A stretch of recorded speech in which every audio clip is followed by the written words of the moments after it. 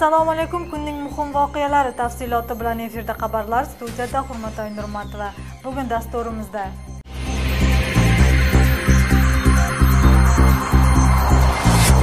O'lkada qishloq hukumati rahbarlarini to'g'ridan to'g'ri saylash mumkin agar qonun loyihasi qo'llov topsa rahbarlarning xizmati yaxshilanadi. Jalolobod oblastida yo'l belgilari yetarli emas tanqislik yigirma besh foizni tashkil qiladi. Pochta ertadan boshlab issiqlik berish to'xtatiladi. Pochta birinchi marta muhtojlar uchun bepul do'kon ochildi. Unda oziq-ovqatlardan tortib kiyim-kechaklargacha qo'yilgan. Bishkekda 2-respublika teatr festivali boshlandi.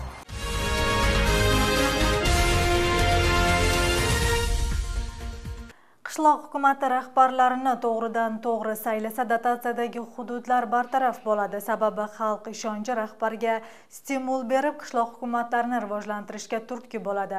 Shu bilan birga xalq tanlovida ishbilarmon rahbar saylanib bu lavozimga loyiq inson keladi. Bu bugun o'sh shahrida o'tgan jamoatchilik tinglovida aytildi. Qishloq hukumatlarini bevosita saylash to'g'risidagi qonun loyihasiga yangi qoidalar kiritilgan. Unga ko'ra garovning summasi ko'tarilib rahbarlikka nomzodini qo'ygan fuqaro davlat tilini bilishi kerak. Taklif qilinayotgan qonun loyihasi to'g'risida muxbirimiz bayon qiladi. Qonun loyihasida qishloq hukumati rahbarlarini mahalliy yashovchilar tanlash kerak. Joriy yilda respublikaning to'rt yuz o'n bir qishloq hukumatida saylov jarayonlari bo'lsa uning qirq bittasida saylov bo'lmay qolgan. Shu sabab qishloq hukumati rahbarlarini deputatlar emas aholi o'zi saylasa yaxshi bo'lardi deydi tashabbuskor kenjabek bo'qoyev. Он бир депутаттын алтоосун баягы мындайча айтканда өзүнө тартып алса эле шайланып калып анан төрт жыл бою ошол эле алты жети депутаттын макулдугун алып эле отчет берип элдин астына чыгып туруп айылдарда отчет да бербей жатат agar qonun loyihasi qo'llov topsa loyiq keluvchi rahbar saylanar edi deyishadi tashabbuskorlar. Hozirda qishloq kengashlarida tanish bilish yoki pul rol o'ynashi haqida aholi orasida aytilmoqda. Taklif qilingan qonun loyihasida mahalliy kengash deputatlarining soni ko'payib hokimni saylash besh yilda bir o'tkaziladi. Мурдакы мыйзамда жергиликтүү кеңештин депутаттары айылдык кеңештердин жана шаардык кеңештердин төрт жылга шайланчу болчу. Буда азыркы сунушта беш жылга шайланууга сунуш болуп атат. Анан андан сырткары талаптар талаптар коюлуп атат. Сөзсүз жогорку билимдүү болуш керек. Jamiyat muhokamasiga qo'yilgan qonun loyihasida qishloq hukumati rahbarligiga nomzod davlat tilini bilishi kerak degan talab kirgizilmoqda. Shu bilan birga bilimli va aholi bilan ish olib borishda ikki uch yillik tajriba bo'lishi kerak. көп депутаттарыбыздын чындыгында билим жагынан аксайт мыйзам тарабын мыйзамдын көп жагын түшүнүшпөйт анткени ошол бюджетти бөлүүдө элдин көйгөйлүү маселелерин эл аралык жергиликтүү кеңештерде жергиликтүү элди колдой турган уюмдар менен иштешүүдө алардын чындыгында дарамети жетпегендиги бүгүнкү бизде ачык айкын көрүнүп турат taklif qilingan qonun loyihasida qishloq hukumati rahbari bo'lishni istaganlar o'ttiz ming so'mgacha garov pulini to'lashi kerak. Lekin fuqarolik jamiyat vakillari garov miqdori yuqori deyishmoqda. Unda ayollarning siyosatga aralashishi ozayışı mumkin. Биздин оюбузча ушул аялдарга жеңилдетүү иретинде ушул отуз миң сом залогун түшүрүп берүү деген сураныч менен кайрылганбыз стимул кылып ошол айыл өкмөттөрдө айыл өкмөттөрдө болгон жетекчилер жетекчи жетекчи аял кишилерди көбөйтсөк деген суроо менен кайрылганбыз mazkur qonun loyihasi jo'g'ri kengashda birinchi o'qishdan o'tgan ikkinchi o'qishga jamiyat fikridan keyin to'liqlovlar yakunida qo'yiladi. Tashabbuskorlar yetti obasni qidirib qonun loyihasi bo'yicha muhokamalarni olib bormoqda. Eslatib o'tsak qirg'izistonda ikki ming birinchi ikki ming beshinchi yillarda qishloq hukumat rahbarlarini to'g'ridan to'g'ri saylash ishlari olib borilgan. Madina ulug'bek qizi gulzada tursunbayeva azam buzrikov intimaq jalolobod oblastida uch yarim mingga yaqin yo'l belgilari yetishmaydi. Buning natijasida avtohalokatlar bo'lib inson o'limi bilan ham tugamoqda. Asosan oblastdagi dislokatsiyaning asosida umumiy o'n ikki ming yetmish uch dona yo'l belgisi bo'lishi kerak biroq uning 6000 ming ikki yuz yetmish mingga muddatdan o'tib eskirib qolganligi sababli almashtirishga muhtoj. Hozirda oblast bo'yicha umumiy yigirma besh foiz yo'l belgilari yo'q. Shu sababli hukumatning oblastdagi vakilligida o'tgan koordinatsiya kengashida tegishli tomonlarga yo'ldagi belgilarni to'ldirish topshirig'i berilgan. Javobot obasidagi yo'l harakatlarini izga soluvchi belgilar eskirgan, ayrim hududlarda esa umuman yo'q. Transport reyslari tinimsiz bo'lgan Bakiyev va Pioner ko'chalarining kesilishdagi yo'l bir tomonlama ekanligi bo'yicha belgi qo'yilmagan. Shu sabab taqiqlangan bo'lishiga qaramay avtomashinalar qatnaydi. Bu esa tirbandliklar va kichik yo'l hodisalariga sabab bo'lmoqda.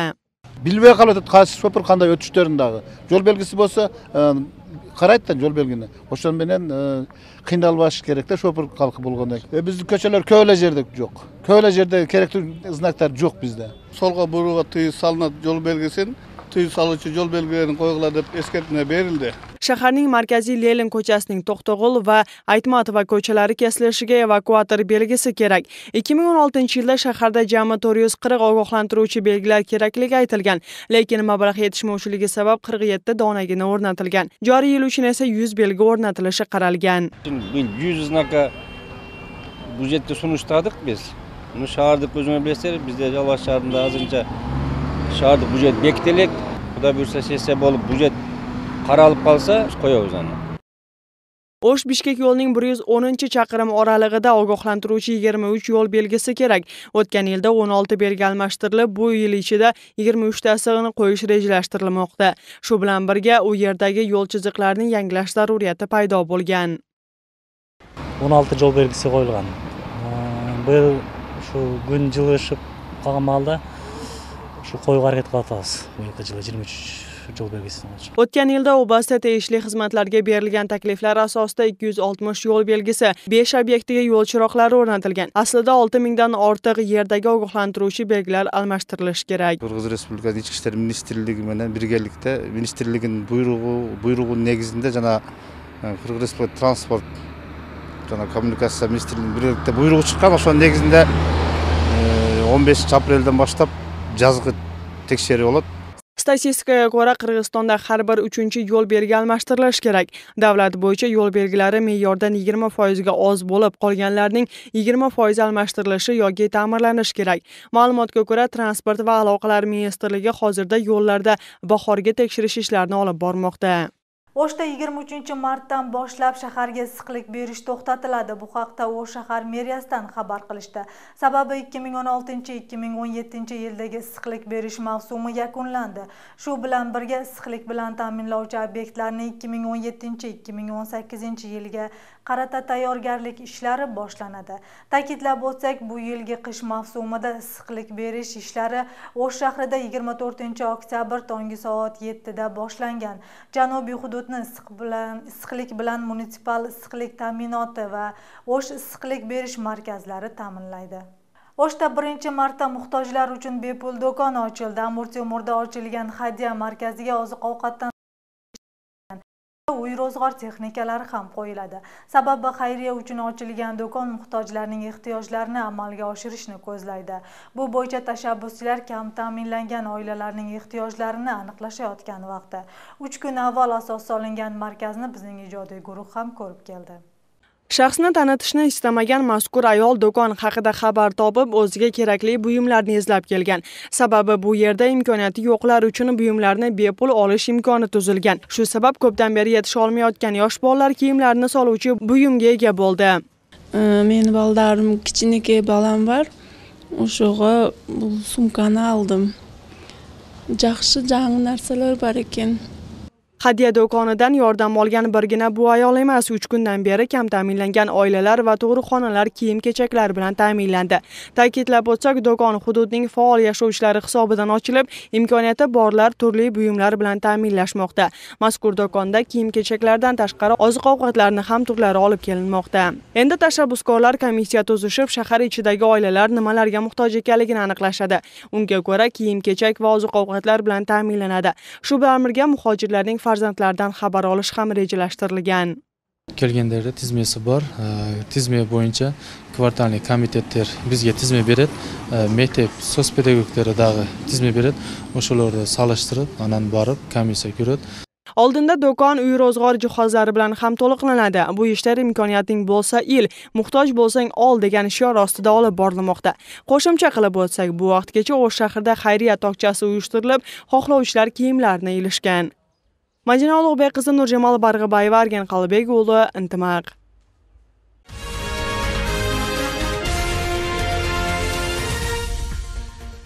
Down sindromi ota-onaning farzandidan bosh tortishiga ham olib keladi, biroq bu kasallik emas. 21 xromosomaning ertaroq rivojlanishini bildiradi. Down sindromi to'laqonli yashashga to'sqinlik qilmaydi. Buni O'shning kichik yashovchisi Razaliya isbotlay oldi.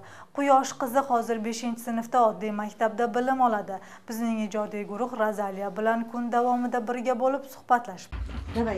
Razaliya tug'ilganda shifokorlar Down sindromi borligini ota onasiga aytgan biroq onasi ramilya shifokorning so'ziga bugungi kungacha ishonmaydi.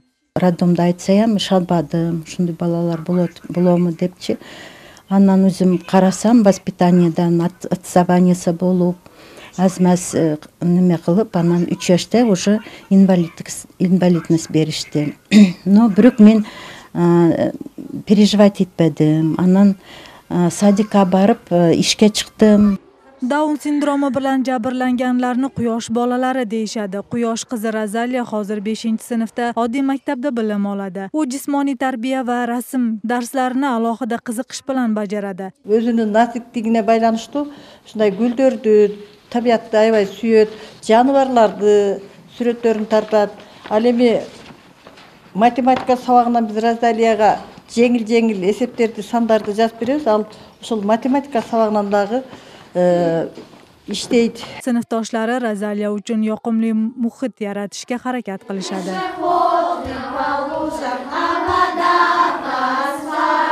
O'n ikki yoshdagi razaliya uy ishlariga ham qiziqadi kelajakda oshpaz bo'lishni orzu qiladi. Ramilya qizi uchun hech qanday yengillik bermaydi sababi razaliya kelajakda o'zi mustaqil yashay olishi kerak. Bular boshqacha bola bo'ladi ekanchi алла таала баарыбызды жаратып бериптир да анан бул баланын өзүнүн таланттары бар өзүнчө караганда повар болом дейт анан мен аракет кылам ушунга Down sindromi kasallik emas, ortiqcha 21 xromosoma ertaroq rivojlanganini bildiradi xolos. Down sindromi менен төрөлгөн балдар бул хромосомдук коштоосунун бузулушунда келип чыгат.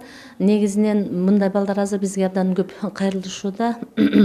Ал булардын эң негизги жабырлануусу бул жалпы өсүп өсүүсүндө артта калуулар байкалат. Анан Э, тубаса кемдиктер э, коштойт да. Dunyo bo'yicha har bir 700 go'dak daun sindromi bilan tug'iladi eslatib o'tsak 21 mart daun sindromi bilan jabrlanganlarning xalqaro kuni bu sana 2011 yili birlashgan millatlar tomonidan belgilangan bishkekda 2 Respublika teatr festivali boshlandi. Unga o'lka bo'yicha dan ortiq maktab va litseylarning o'quvchilari ishtirok etishmoqda. Tadbir 3 kun davom etib yozuvchilarning dramalari asosida tayyorlangan spektakllarni yosh ijodkorlar namoyish qilishadi. Ijodkorlardan tuzilgan hakamlar eng yaxshilarini 24 mart kuni rus drama teatrida aniqlaydi. Bosh sovringa turli sovg'alar qo'yilib o'quvchilar uchun madaniy joylarga sayohatlar uyushtirilgan.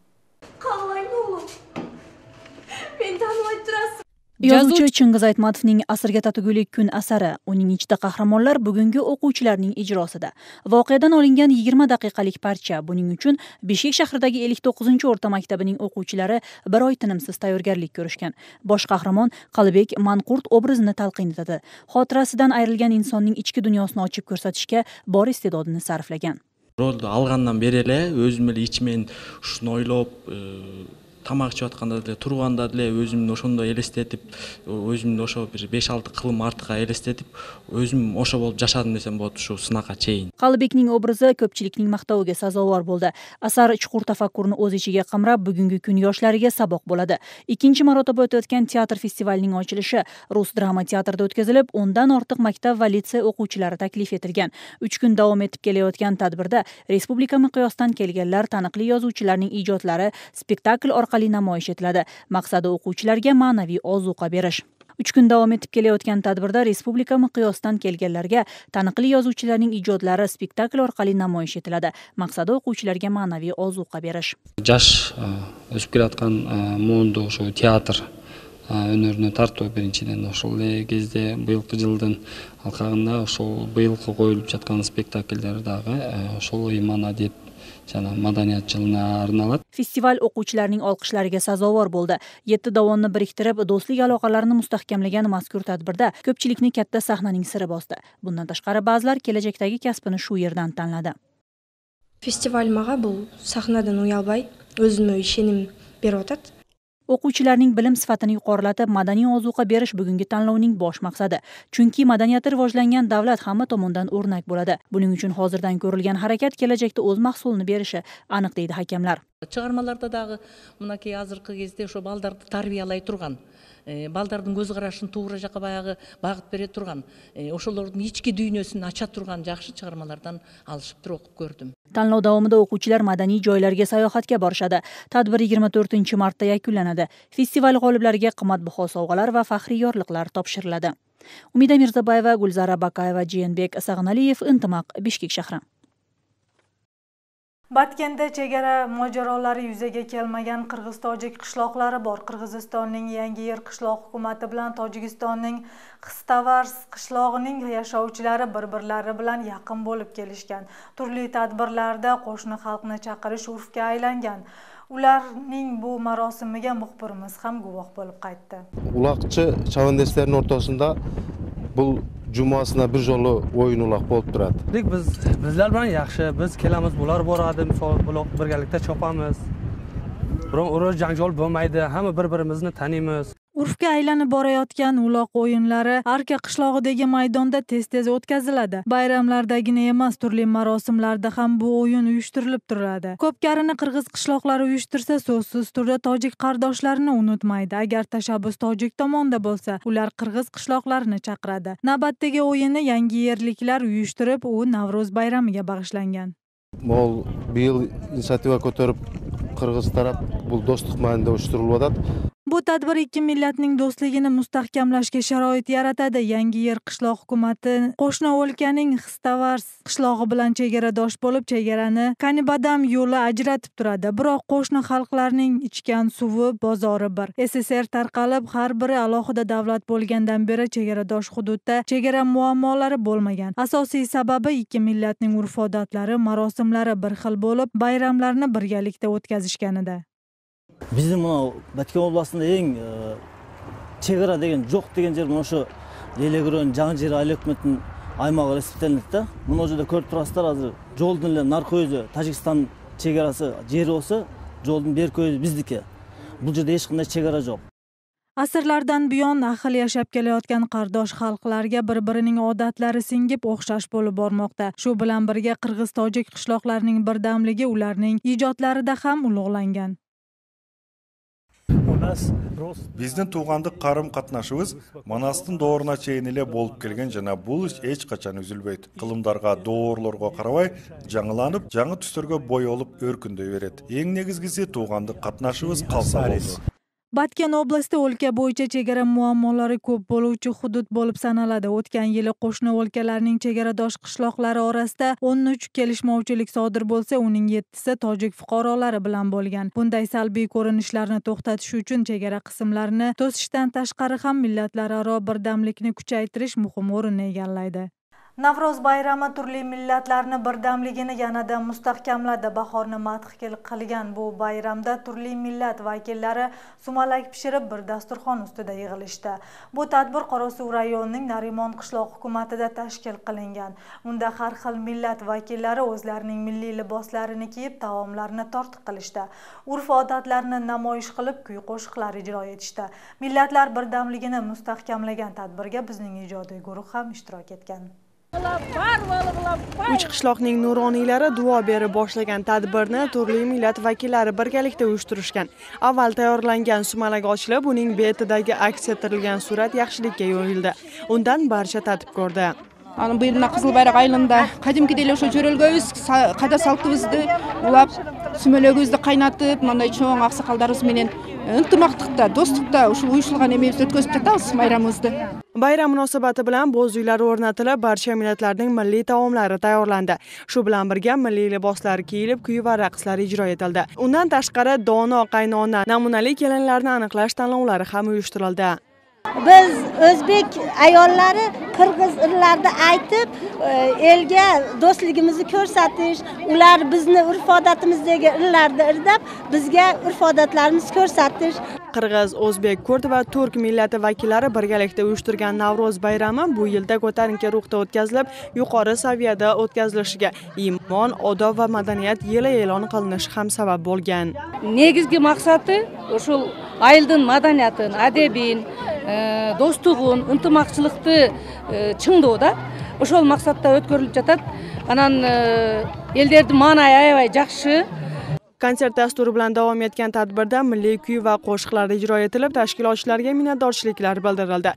Shu bilan birga dasturxon yozilib unga bahoriy taomlar qo'yilgan. Bir davra atrofida to'plangan turli millat vakillari bu kabi tadbirlar tez tez o'tkazilishi tarafdorlari. Majina ulug'bekqizi azam buzrikov intimaq. Navro'z bayramini nishonlash o'sh shahrida ham davom etmoqda. Hududiy boshqarmalardan tortib o'quv yurtlarida ham bahor bayrami nishonlanmoqda.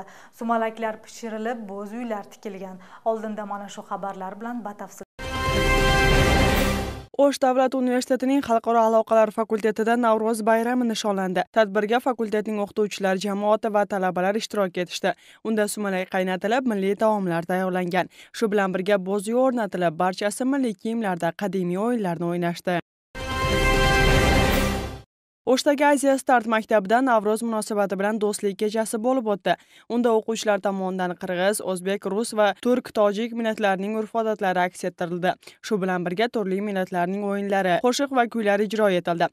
Bayram munosabati bilan dasturxon yozilib bahoriy taomlar taqdim etildi. O'shdagi kelajak bolalar ijodiy markazida rayonlararo qo'shiq va raqs tanlovi bo'ldi. Urfga aylangan tanlovga o'sh obasidagi yetti rayondan saralangan bolalar chaqirilgan.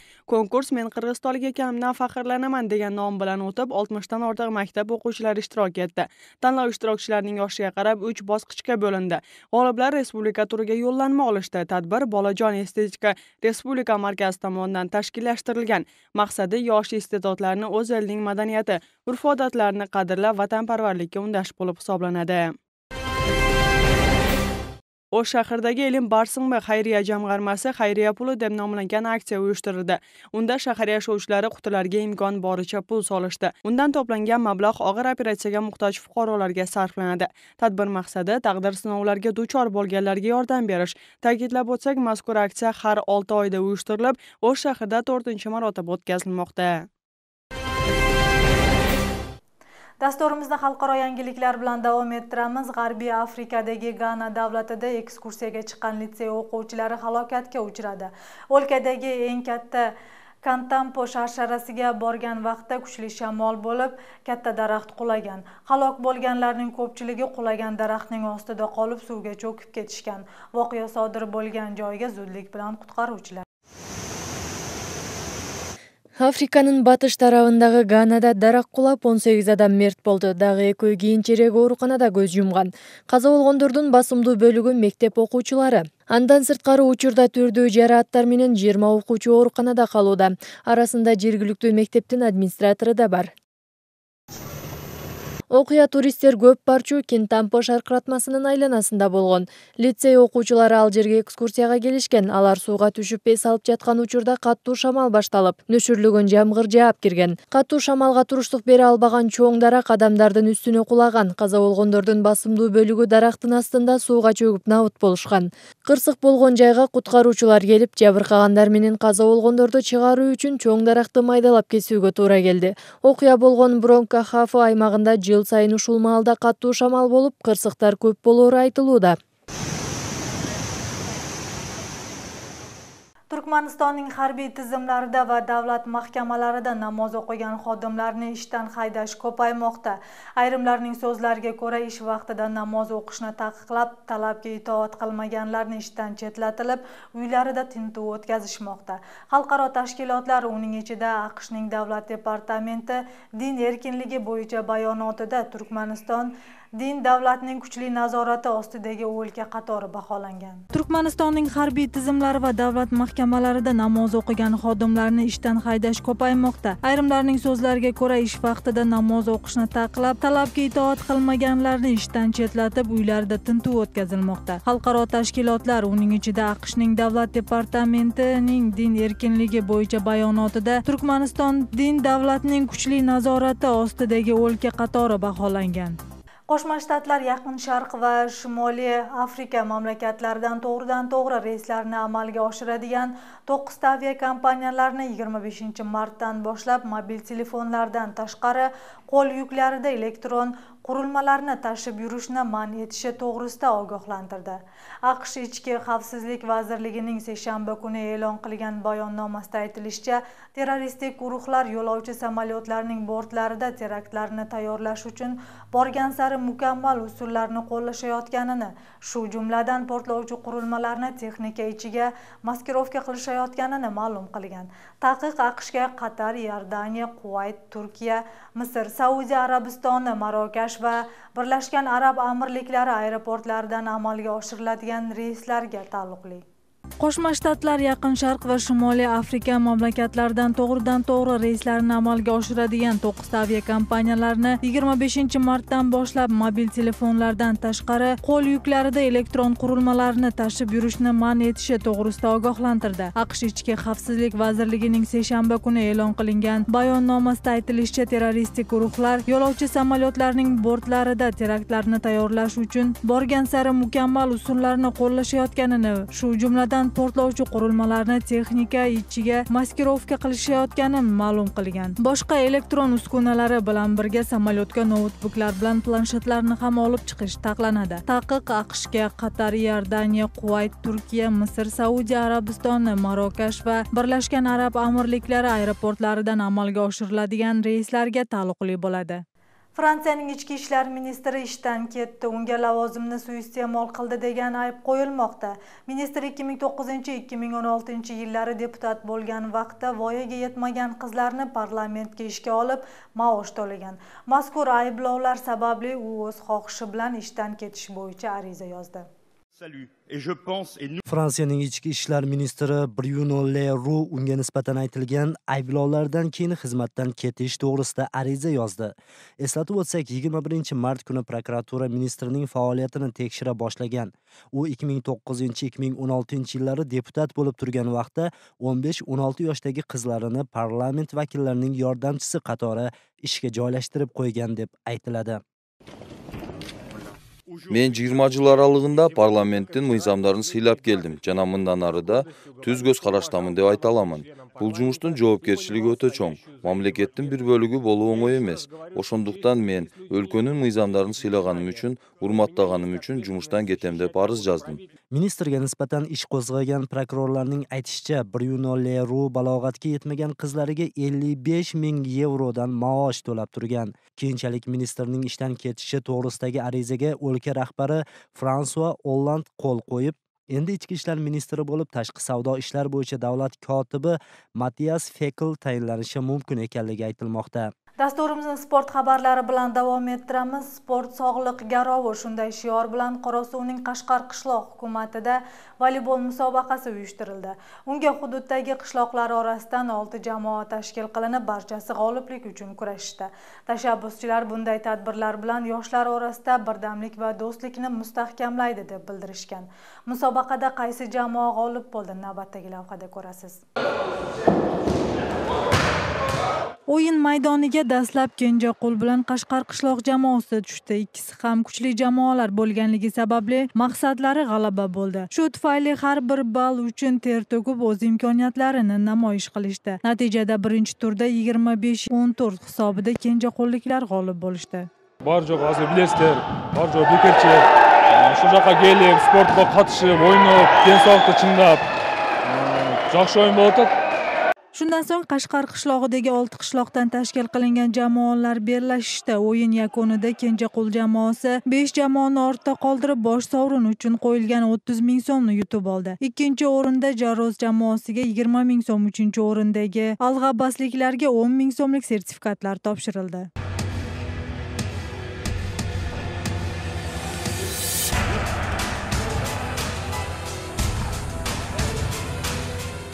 Yoshlarni bir joyga yig'ib sportning voleybol turi bilan mashg'ul qilish ham oson emas. Hozirgi yoshlarning ko'pchiligi ishsiz. Bu esa noto'g'ri diniy oqimlarga berilib shu bilan birga spirtli ichimliklarni iste'mol qilishga olib keladi. Shu sababli tashabbuschilar qishloq hukumatlarining yetakchilari uyushtirgan tadbirlarni kutmay o'zlari sog'lom hayot poydevorini qura boshlashdi. Yoshlarimizni intimoqqa chaqirib bilimlikka chaqirib e, iymon жана адептүүлүгүнө карата yoshlarimizni bir biri bilan tanishtirib достугун чыңдоо максатында ушундай оюнубуз өтүп жатат. Endi bunday sport musobaqalari tez tez o'tkazib turiladi buning uchun kenjaqul qishlog'ining tashabbuschi yashovchilari zamonaviy sport kompleksining qurilishiga harakat qilishmoqda qurilishning loyihasi tayyorlanib bitilsa xalqaro donorlar bilan hamkorlik bo'yicha so'zlashuvlar bo'ladi bugun o'shning yerim jamoasi g'alaba bilan qaytdi. Ular futzal bo'yicha qirg'iziston chempionatida oltin medalga sazovor bo'lishdi. O'shliklar superliganing final uchrashuvida ikkinchi o'rin o'yinda ham issiqko'lning muras jamoasini uch bir hisobida yutib oldi. Gollar muallifi yerimdan adilet qultayev alyasila va maqsad alimov bo'ldi. Murasdan esa yagona golning muallifi ilyas cho'tpayev. Eslatib o'tsak o'n ikkinchi martda ikki jamoaning o'shda o'tgan birinchi uchrashuvida ham yerim yettiyu to'rt hisobida g'olib bo'lgan edi. Shu bilan futzal bo'yicha o'lka birinchiligini ikki yildan beri o'shning jamoalari yutib kelmoqda. Suyunishga so'z yo'qda. Men o'zim играющий тренерлем бирок мына балдар үчүн ыраазычылык билдирем мына bugun muxbirlarimiz tomonidan tayyorlangan xabar va lavhalar mana shulardan iborat. Tuningiz osuda o'tsin xayr omon bo'ling